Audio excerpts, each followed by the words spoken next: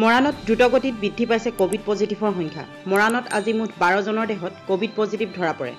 বৰ্তমানলৈকে মৰাণত চৈধ্যশ ষাঠিগৰাকীলৈ বৃদ্ধি পালে কভিড পজিটিভৰ সংখ্যা। মৰাণত অধিক দ্ৰুতগতিত বৃদ্ধি পাইছে কভিডৰ গণসংক্ৰমণ। আজি মৰাণত ৰেপিড টেষ্ট চেণ্টাৰসমূহত মুঠ বাৰজনৰ দেহত কভিড পজিটিভ ধৰা পৰে। বৰ্তমানলৈকে মৰাণত কভিডৰ সংখ্যা চৈধ্যশ ষাঠিজনলৈ বৃদ্ধি পালে।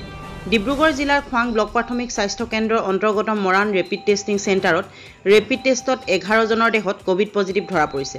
আনহাতে চৰাইদেউ জিলা পাটচাকু প্ৰাথমিক ব্লক স্বাস্থ্য কেন্দ্ৰৰ মুঠ এজনৰ দেহত কভিড পজিটিভ ধৰা পৰে।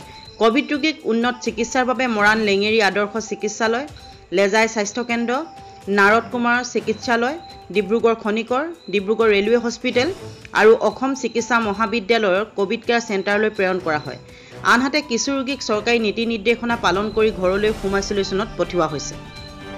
আজিৰ দিনটোত আক্ৰান্ত হোৱা কভিড ৰোগী হৈছে খোৱাং এছ এইচ স্কুলৰ মিৰাজুল ইছলাম লক্ষ্যজিৎ শইকীয়া চহৰীকটাৰ পল্লিকা সোণোৱাল লকুমাই বিল গাঁৱৰ জিতাশ্ৰী বৰুৱা দীখাৰীৰ খুচবু বৰালাহন পিঠাগুটিৰ মণিকা খাৰিয়া ফটিকাচোৱা নেপালীৰ টিংকু চুতীয়া